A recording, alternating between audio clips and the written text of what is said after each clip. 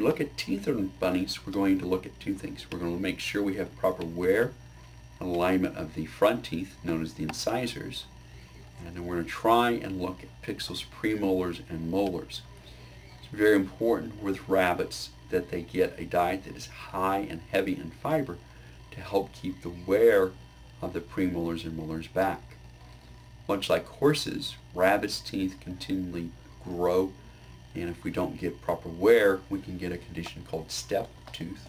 Step tooth is actually notching of the tooth and getting elongated crowns is common where the tooth is long and also um, with some bunnies, bunnies getting abscesses in the roots. So when we do the exam, we feel a long angle of the jaw. Good quality dental x-rays are important to help identify dental abscesses. And with some rabbits, they need to have their teeth ground down on a regular basis but having a high quality diet and a diet that's very heavy in hay and much lower in pellets is the key to helping promote the wear of those teeth. Use an otoscope cone.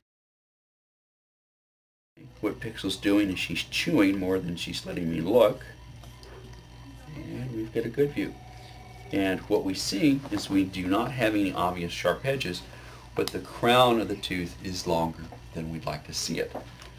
And that's something that we, now that we know that, we just need to keep an eye on Pixel and to see, based on how she's doing, does she need to have her teeth ground down?